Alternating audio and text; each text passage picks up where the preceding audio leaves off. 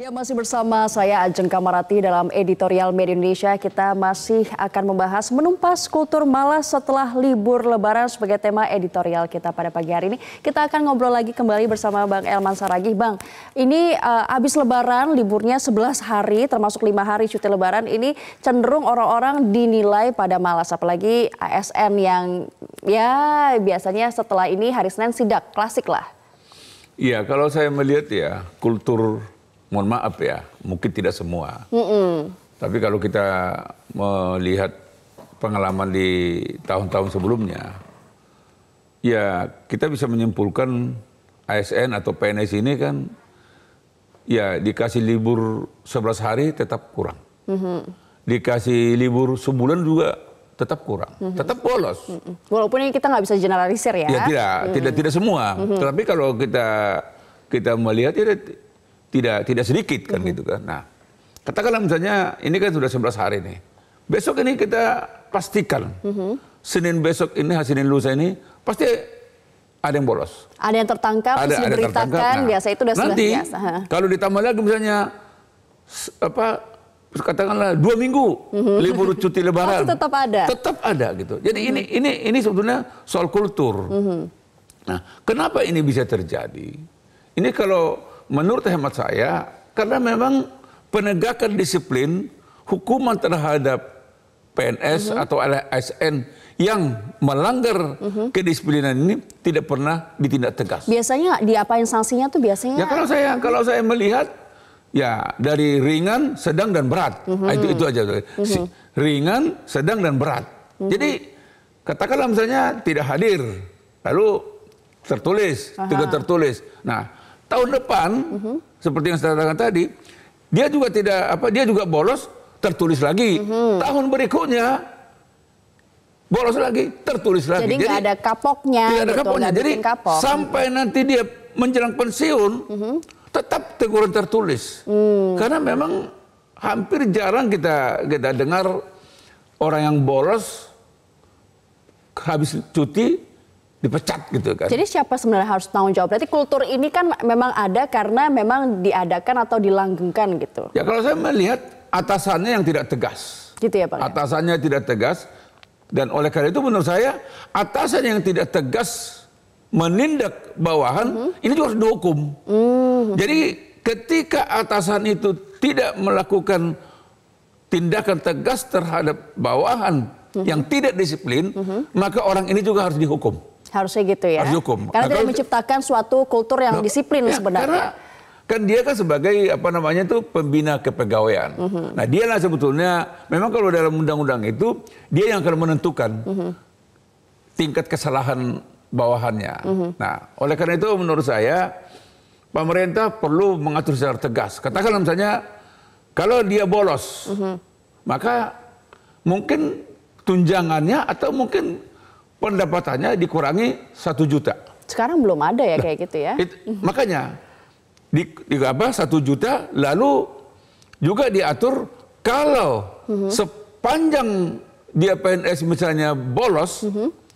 di atas lima kali atau di atas tiga kali uh-huh. maka dia pecat. Jadi akumulatif. akumulatif. Jadi satu kali, dua kali, tiga kali semakin banyak Jadi ini semakin berat. Begitu dia bolos, katanya kan di, di, dikatakan misalnya dibuat batas maksimal tiga kali mm-hmm. sepanjang dia PNS kan gitu kan mm-hmm. bolos atau ada bolos libur Natal mm-hmm. bolos apa pun apa pun ya. liburan ya. nah mm-hmm. melebihi tiga kali pecat maka ketika dia bolos satu kali mm-hmm. maka kesempatannya tinggal dua kali mm-hmm. begitu dua kali kesempatannya satu kali mm-hmm. tinggal tinggal dembus dia pecatkan gitu kan. Nah oleh karena itu menurut saya sepanjang aturan-aturan ini tidak diatur secara tegas, -huh. maka kita akan lihat pemandangan ya semacam show aja. Uh -huh. Artinya nanti kita saya sudah bisa pastikan uh -huh. akan ada sidak dan masuk di televisi kan. Udah biasa nah, gitu. Masuk di koran. saya pun sebetulnya. -huh sebagai wartawan, hmm. saya sudah malu melihat itu. Iya, udah capek Karena juga. Karena sepanjang saya jadi wartawan, -huh. 40 tahun lebih, Waduh. itu yang saya... saya Dan saya, itu selalu dari 40 ah, tahun lalu klasik udah, gitu ya? Udah, dan biasanya datanglah itu atasannya, wah, wah itu pura-pura, apa, apa itu, uh, PNS juga menulis, Entah apa nih terusnya. Jangan-jangan itu yang diurus itu I love you. oh, Oke, okay. itu pengalaman Mbak Elma.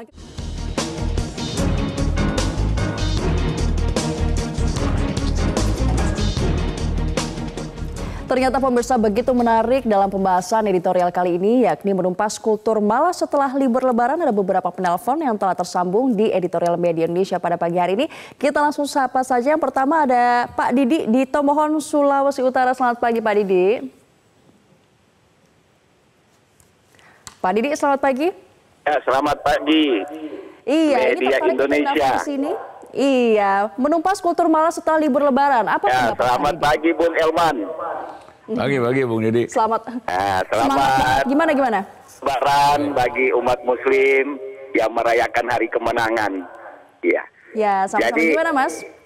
Iya, mengenai menumpas kultur malas setelah setelah liburan ini sebenarnya harus diberi contoh oleh pemimpinnya. Kalau pemimpinnya mulai dari gubernur, wali kota, bupati, maupun kabak maupun ya kepala-kepala bidangnya bisa menunjukkan contoh yang baik kepada anak buahnya. Dia mm -hmm. tepat waktu masuk kantor. Saya kira ya pasti anak buahnya mengikutinya.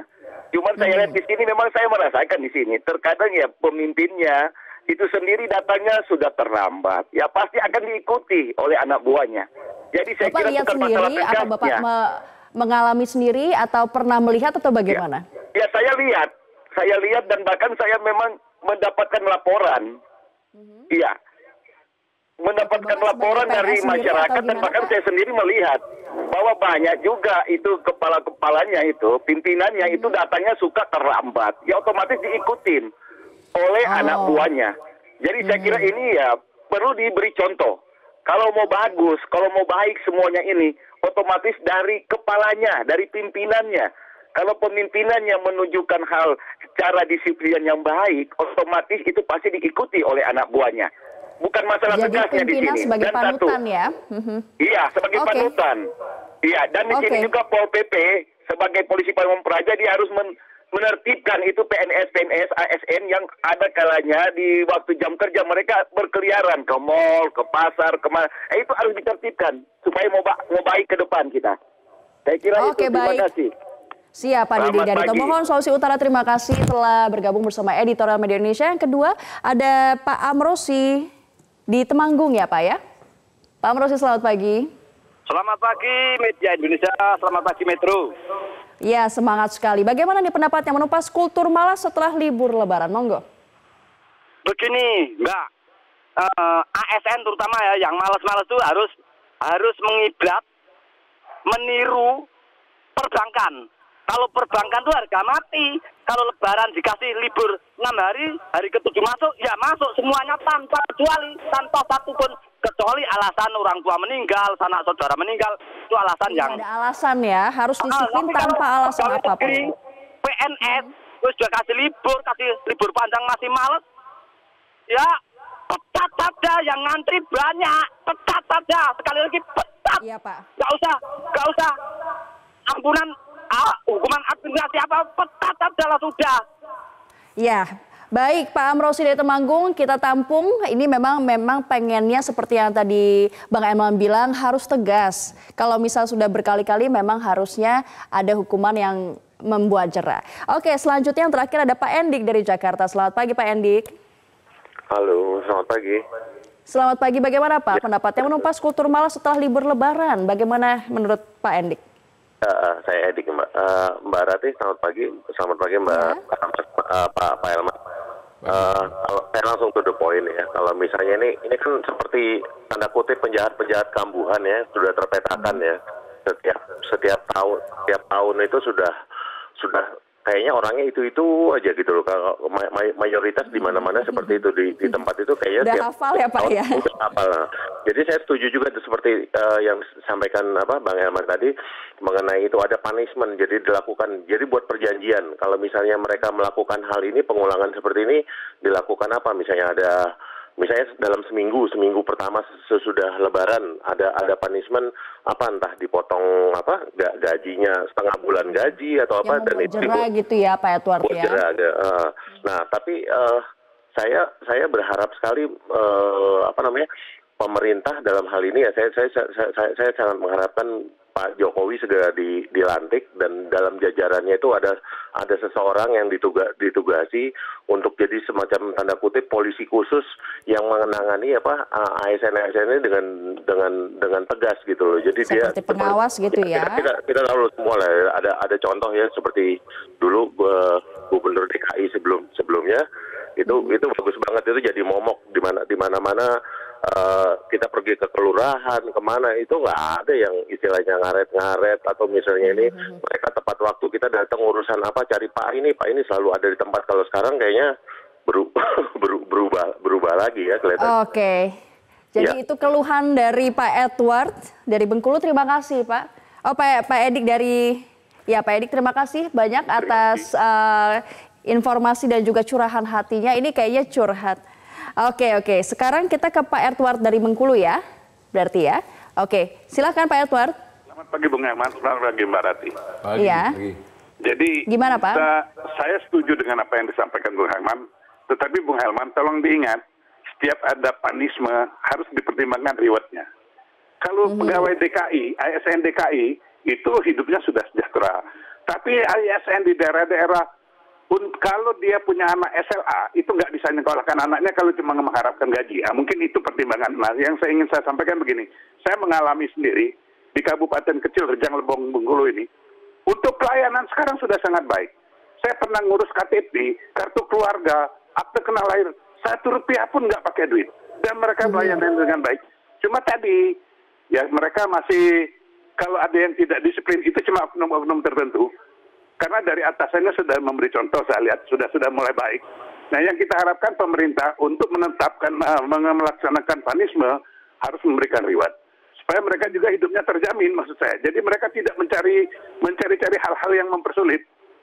Tidak hmm, kita pungkiri masih ada, ada reward juga ya. Nah, masih ada oknum-oknum yang berlaku. Kuncinya adalah rekrutmen dari awal. Hmm. Tempatkanlah seorang sesuatu itu pada tempatnya kalau menempatkan seseorang bukan pada tempatnya yang ini, nah ini jangan terjadi seperti di Lampung. Sudah hampir habis masa jabatan 450 dimutasikan mendadak.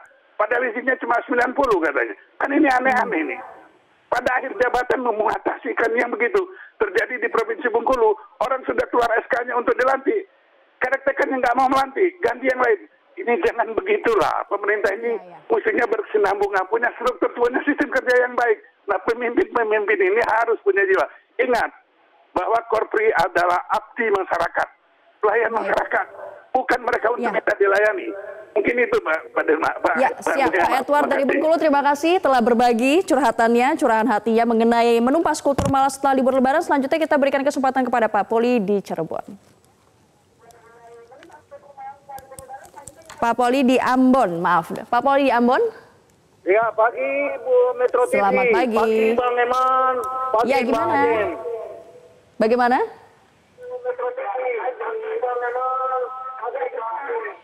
Jadi begini Bang, mm-hmm. kalau menurut saya tidak semua ASN itu bermoral seperti itu. Artinya begini, liburan itu sesuatu yang diberikan oleh pemerintah harus dihargai juga oleh PAPN ASN. Kalau kita bicara disiplin PNS, saya kira ini Pak Eman dengan saya juga pernah sama. Ada peraturan PP 30 tahun 80 tentang disiplin pegawai negeri sipil. Sekarang lagi lagi PP 53 tahun 2010. Saya kira sanksi-sanksi itu Pak Eman, kalau diterapkan tentang hukuman disiplin ringan, disiplin berat, dan disiplin sedang dan berat itu Pak Eman, tidak dipola oleh atasan Bang Emang. Kadang-kadang cuma sampai pada kalau eselon 4 ya usul ke eselon 3, eselon eselon 2 maka sampai di situ saja Bang emang tidak ada proses selanjutnya Bang.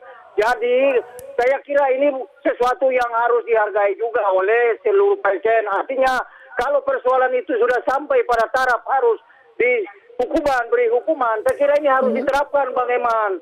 Jadi hmm. kira saya kira ini juga sebagai pegawai negeri sipil, saya kira pemerintah sangat memberikan toleransi untuk itu. Saya hmm. kira semua pegawai negeri tidak sama Bang Eman. Mungkin ya, saja segi dari segi moral dan kepentingannya. Ya. Terima kasih Bang Eman. Selamat pagi Metro TV. Selamat pagi Pak Poli dari Ambon. Baik, selanjutnya kita beri kesempatan juga kepada Pak Bambang dari Surakarta. Sudah bergabung bersama Editorial Media Indonesia. Bagaimana Pak Bambang? Ya, selamat pagi Metro TV, selamat pagi Indonesia. Selamat pagi. Bagaimana? Jadi gini, saya melihat bahwa masyarakat yang diwakili oleh para penelpon tadi benar-benar sudah gemes ya dengan riwayat ASN ketika Hmm, liba- eh, liburan lebaran. Itu pasti terlambat, pasti nggak masuk, pasti malas-malasan. Nah ini sampai editorial pun juga membuat judul yang luar biasa, artinya juga gemes itu. Artinya apa? Menumpas eh, budaya malas ASN. Nah ini kan kegemasan ya sebenarnya kita itu.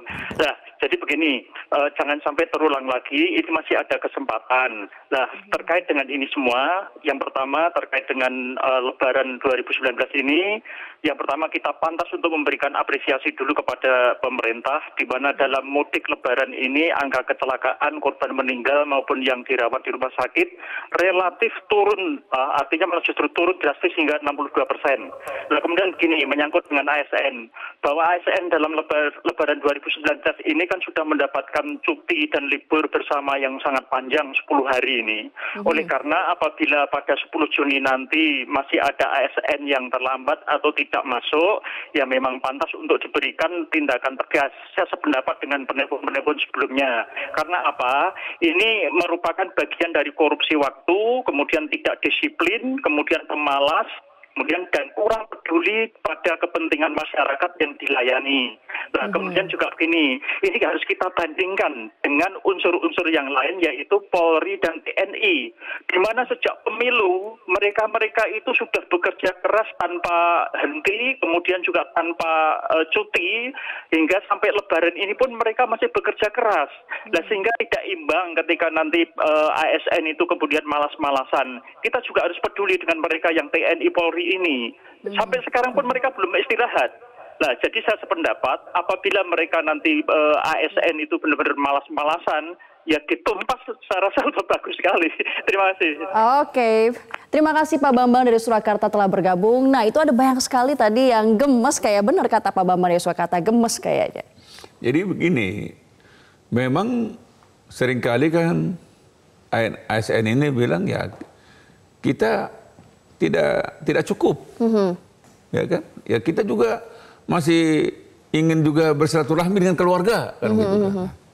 Tadi Mas Bambang kan yang terakhir kan secara tegas mengatakan sampai hari ini cukup banyak ASN bahkan TNI Polri yang tidak sempat mengucapkan sungkaman terhadap Bahkan belum Wah, istirahat dari belum pemilu istirahat. yang panjang. Betul. Kalau kalau kita lihat sepanjang jalan Trans Jawa ini Jawa, kan, mhm. terus sampai ke Sumatera sana kan, mereka siang malam kan. Mhm. Jadi kalau dikatakan soal beban kerja dan pingin juga bersilaturahmi, mereka apa Bisa tidak pingin? dibandingkan dengan Ya, TNI Polri yang kerjanya masih Biasa. terus-menerus dari pemilu PNS kemarin. juga, tidak hanya TNI Polri, PNS itu juga cukup banyak yang melayani publik di sepanjang jalan itu. Nah, artinya memang ini menyangkut soal moral, soal mental, Kultur dan ya.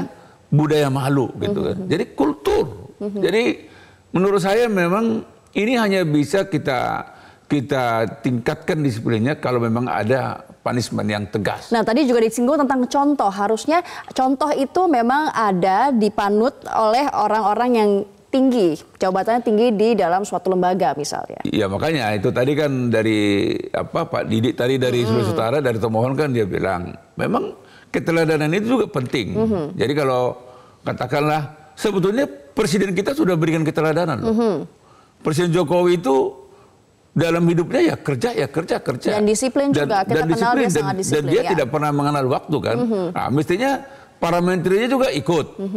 Ya eselon 1, eselon 2, eselon Turun 3 juga harus ikut. terus ya. Gubernurnya ikut, bupati, wali kota juga ikut, camat dan seterusnya ikut. Jadi kalau memang keteladanan ini ada, ya mestinya di bawah juga pasti ikut. Pertanyaannya kan banyak juga yang ASN ini memang kerjanya juga nggak jelas. Nggak jelas dalam arti Istilahnya dia tidak punya meja. Nah ini ini, ini orang seperti ini memang pertanyaan saya apakah dibutuhkan atau tidak dibutuhkan.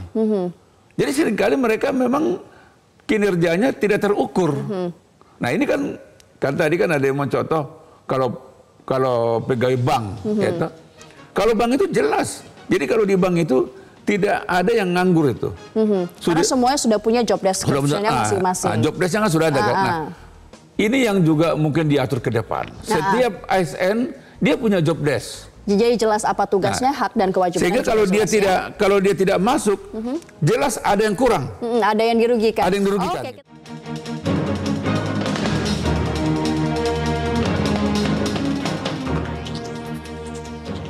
Ya nampaknya memang eh, topik kita pada pagi hari ini menumpas kultur malas setelah libur lebaran ini menarik banyak sekali penelpon. Jadi di segmen ini kami akan memberikan kesempatan kepada satu penelpon lagi untuk mencurahkan unek-uneknya seputar kultur malas ini. Sudah ada Bapak Edison di Batam. Selamat pagi Pak Edison. Selamat pagi. Iya, Pak Edison, eh, apa yang pernah menjadi pengalaman dari Pak Edison sendiri terhadap kultur malas ini? Iya, sebenarnya seperti ini Bu. Eh, kalau pengawasan itu sebenarnya ditegakkan secara tegas, itu bisa diterapkan. Persoalannya kan sekarang begini, pimpinan juga jadi rancu eh, mengambil keputusan karena ketidakhadirannya hanya satu hari dua hari. Mhm. Padahal PP 53 mengatur bahwa ketidakhadiran bisa dikumulatifkan per tiga bulan, per enam bulan, per satu tahun. Hmm, Tunggu sebentar, Pak, Pak Edison ini selaku mantan pengawas ASN betul? Iya, iya, iya. Jadi pernah eh, mengawasi secara langsung ya? Iya, kadang-kadang pekerjaan kita itu sia-sia aja. Sia-sia gimana Pak? Sia-sia. Kita sudah datang eh, eh, turun ke lapangan untuk melihat ada yang tidak hadir sampai sekian eh, eh, dua hari lah kita bilang. Ya dia hanya hanya dapat surat teguran. Kenapa? Karena tidak di tidak dilihat lagi latar belakang si pegawai itu pernah nggak dia datang selama satu tahun itu karena kumulatif ketidakhadiran berlaku selama satu tahun. Mhm. Lalu catatan sendiri dari Pak Edison, ini seperti apa kalau bisa em, memberikan catatan? Apa yang harus dibenahi sebenarnya? Kalau saya mengatakan pimpinan pengawas di daerah itu harus ngerti aturan. Lalu apa lagi Pak yang bisa menjadi catatan? Itu satu. Pimpinan harus paham akan aturan. Pimpinan artinya pimpinan instansi. Eh, kedua, pim, eh, inspek, inspektoratnya itu memang harus tegas. Dikumulatikan, dilihat latar belakang kehadiran itu. Sehingga ada eh, apa rasa jerah sama pegawai itu ketika hukuman itu dikenakan. Karena bisa saja satu satu satu minggu itu dia tidak hadir, eh satu tahun itu dia tidak hadir sampai seminggu. Satu jam itu bisa dikumulatifkan terlambat, itu dilihat dari absen. Tapi itu pernah dilakukan selama ini tidak, terutama pegawai-pegawai di daerah. Mhm. Oke, baik. Pak Edison, terima kasih telah berbagi pengalamannya bersama editorial Media Indonesia. Sekarang kita ke Pak Suli di Aceh. Selamat pagi, Pak Suli. Selamat Pak Sul ya. Aha. selamat pagi Mbak. Eh, bagaimana? Eh, ini Mbak, saya kebetulan Mbak, eh, nama saya Jokarne ini Mbak, saya bekerja eh, pernah pernah berpengalaman, berpengalaman saya eh, sebelumnya saya bekerja Mbak sebagai ASN di sebuah kota di Sebul Salam. Ah, Zul? saya melihat pengalaman saya di sana, kita melihat persoalan di PNS ini sebenarnya banyak persoalan-persoalan. Ah, kita bukan melihat pada ah, kedisiplinan dia masuk kantor. Tetapi ah, kita lihat ini hasil yang dia kerja itu dan kualitas PNS, eh, ASN itu. Kadang-kadang ada PNS yang dia memiliki kemampuan di bidang lain, tetapi di, di, di, ditempatkan di posisi yang salah, yang tidak sesuai dengan kemampuan dia. Pak Malah- sendiri ya. Ah, malah dia akan menjadi sebuah penonton. Dia tidak bisa me- me- menghasilkan ah, karya-karya itu dia nggak bisa menghasilkan. Artinya tujuan dari eh, pemerintah itu untuk memberi pelayanan yang terbaik sesuai dengan Undang-Undang 25 itu tidak akan terpenuhi. Nah. Kadang-kadang Mhm. ada yang eselon-eselon atau atasan-atasan ah, kami di di, di Oke. daerah itu tidak sesuai dengan eh, tingkat eh, apa tingkat golongannya. Oke, Contoh baik ini, Pak. Ah, contoh Siap. begini, biar kasih. biar Mhm. biar Waktu kita ini- terbatas Pak Sul. Kita Pak- tampung dulu. Terima kasih banyak telah uh, bergabung bersama Editorial Media Indonesia. Ini ada beberapa tadi yang digarisbawahi adalah pimpinan harus paham aturan, lalu inspektorat juga harus tegas untuk memberikan ini tadi sanksi. Ya, memang yang menjadi soal seperti yang saya katakan di awal tadi, kalau pembina kepegawaian atau pimpinan tidak memahami aturan, mungkin juga memahami aturan tapi tidak tidak mampu melaksanakan aturan. Nah itu kan ber- bersinggungan ya, Ya, satu sama ya, lain. ya. Jadi Sebenarnya paham tidak- dan juga harus dilaksanakan. Tidak tidak tega gitu ya kan. Ya, itu yang membuat disiplin itu tidak pernah ditegakkan gitu kan. Itu juga membuat para ASN pegawai negara, negara disiplin itu juga tetap bermanja-manja dalam sebuah kemewahan yang tidak pernah ditindakkan gitu kan. Mhm, Jadi mereka juga ter- sudah terlena, oh nggak bakal diapa-apain. udah terbiasa nggak ada kok. apa-apa. Paling juga yang akan yang akan capek ya yang mencatat aja. Dan catatan itu hilang di telan bumi aja gitu. Seperti tadi eh, Pak Edison dari Batam itu mantan pengawas ASN dia juga bilang Ya. bahwa ini sia-sia gitu kata dia. Sia-sia. Jadi kalaulah misalnya tiap ASN diberikan buku saku, buku saku ya. Nah kalau dia tidak, kalau dia bolos, buku saku itu dibuat catatan. Tanggal segini PNS ini tidak masuk kerja, atau terlambat kerja, atau tidak disiplinan. Nah, Kayak jejaknya ya, Nah, rekam sehingga jejaknya. ketika pada waktunya ada katakanlah promosi, maka buku saku ini akan menjadi pegangan Dilihat. dilihat. Oh ini jejak. ini nggak boleh nih. Mhm, ketidakdisiplinan Tidak disiplin ini seperti ini apa? ini tidak boleh. Ini ditunda dulu nih. Tidak boleh naik jabatan ini. Jadi pertimbangan juga ya, Jadi Bang, ya? catatan itu mestinya tidak boleh hilang sampai dia pensiun. Mhm. Itu juga menurut saya terjadi di TNI Polri. Mhm. Namanya ada buku saku. Mm. Jadi tiap anggota TNI Polri itu punya buku saku. Kalau dia melanggar kedisiplinan. dicatat dan ketika ada promosi buku saku ini yang menjadi pegangan para Pertimbangan. Pengambil keputusan gitu. Mhm, Jadi kelihatan misalnya dalam enam bulan apa saja ketidakdisiplinannya Nah, dalam satu tahun Ya, seperti artinya apa? gini, seluruh ketidakdisiplinan, se- seluruh pembolosan dan sebagainya harus akumulatif. Mhm. Jadi tidak boleh misalnya orang yang pernah bolos ketika hari le- lebaran tahun 2019 Jangan bolos lagi tahun Nah, berikutnya. Dan tercatat. Kalaupun bolos tercatat. Maka orang ini pada waktunya memang mungkin juga di- di- diturunkan pangkat, mungkin Mhm. satu tingkat, dua tingkat ke bawah, atau jabatannya langsung di dan terakhir orang ini harus dipecat gitu loh. Jadi harus harus memang tega. Loh, harus tega. Karena kalau kita- dikatakan karena gini loh, PNS ini banyak peminatnya. Sebetulnya pemerintah ini punya resources yang lebih dari cukup. Jadi tidak tidak boleh ada ASN menganggap habis gaji saya tidak cukup. Ya, kalau tidak cukup, ya tinggalkan aja ASN. Tidak pernah ada larangan PNS itu mundur dari. Iya. Nah, jadi jangan juga dianggapnya terpaksa dari sana nggak boleh. Jadi menurut saya Memang harus bekerja dengan hati, Harus. disiplin Nah. dan memang sepenuh Nah, hati. terakhir yang kita ingin katakan juga memang harus ada job desk.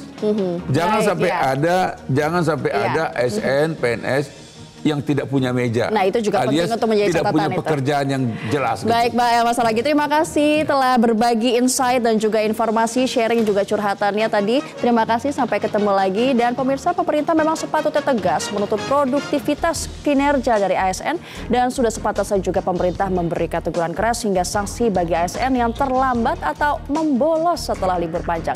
Hal ini penting pemirsa karena besarnya dampak kualitas terhadap pelayanan publik. Perbaikan dari hal kecil yakni kultur kinerja ASN harus menjadi perhatian. Lebaran ini kultur maras harus ditumpas. Saya Ajeng Kamrati. Terima kasih dan selamat pagi.